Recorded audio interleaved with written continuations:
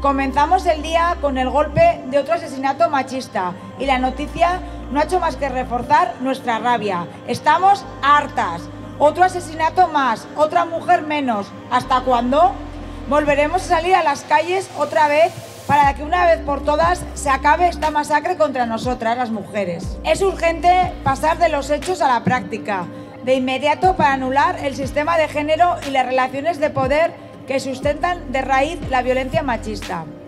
Porque este asesinato no es un fenómeno aislado, sino fruto de la organización social profundamente sexista en la que vivimos. Desde la Marcha Mundial de las Mujeres de Euskal Herria hacemos un llamamiento a participar en las movilizaciones para denunciar enérgicamente este último asesinato machista. Junto a ello, seguimos haciendo a su vez un llamamiento a la autodefensa feminista, porque nuestras vidas están en juego y no tenemos más que defenderlas.